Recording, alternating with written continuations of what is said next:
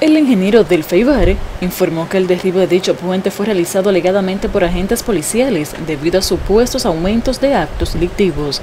Igualmente destacó que los comunitarios de Fundación de Peravia se sienten olvidados, ya que el puente Paso de los Hierros no ha pasado de ser una promesa.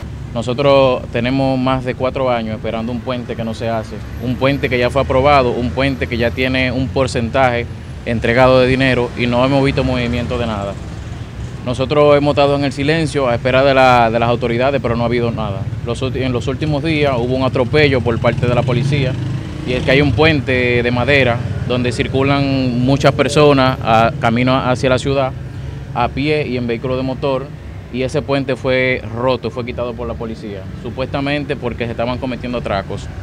Nosotros entendemos que fue un abuso porque no se consensuó con la comunidad ese puente. O sea, pudieron haber dicho, vamos a hablar con la comunidad para que haya un alumbrado y que, que no, no pasen los delincuentes.